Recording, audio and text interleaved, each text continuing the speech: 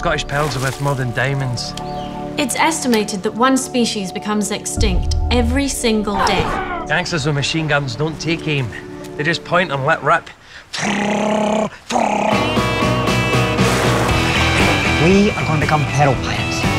Don't exactly come across like a hardened criminal. Oh, please put your hands above your head. Save the Scottish mussels. They're definitely up to something. If this is some kind of scam, you'll be sorry.